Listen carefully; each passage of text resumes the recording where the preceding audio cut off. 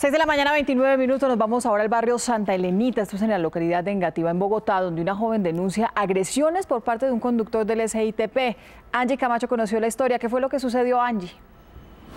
Hola Mónica Televidentes, buenos días. Mire, primero que todo los saludos de la carrera 77A con 68 y quiero mostrarles porque los jóvenes venían una pareja en bicicleta justamente en ese sentido sur-norte. Ellos van un poco orillados eh, cerca al andén cuando en ese momento se encuentran con un bus, un conductor de, del CIP. Le quiero preguntar ¿Qué fue lo que pasó después, Miguel? Muy buenos días. y en esos momentos nos desplazamos por la 77 sentido sur-norte.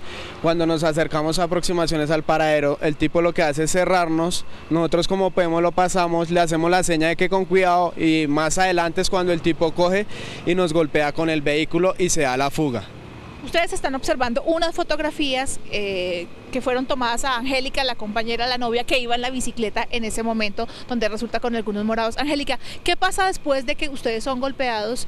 Eh, ¿Qué pasa con el bus y qué pasa con la bicicleta? Eh, pues el señor, como dice Miguel, se va a la fuga y pues yo quedé en el piso. Miguel Ángel me dice, párate y vamos y alcanzamos al señor. Miguel Ángel se da cuenta que conmigo no puede alcanzar al señor del bus cuando pues él me dijo quédate acá y él alcanzó al bus en el semáforo. El semáforo quedó en rojo. El hombre enfurecido, y los estamos viendo en un video justamente que graba una de las personas del sector cuando el conductor decide pasar por encima de la bicicleta. ¿Por qué?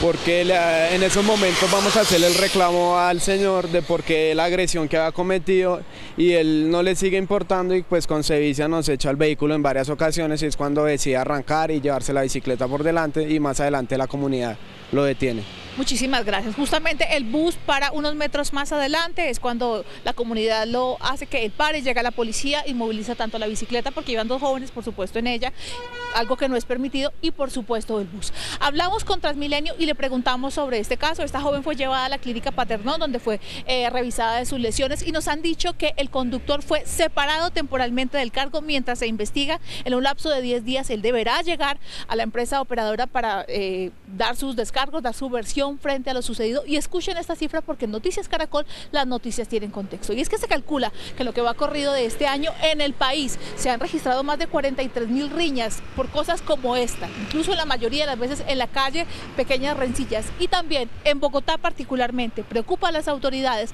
que se han registrado más de 6.350 lesiones personales por situaciones diarias, cotidianas como esta.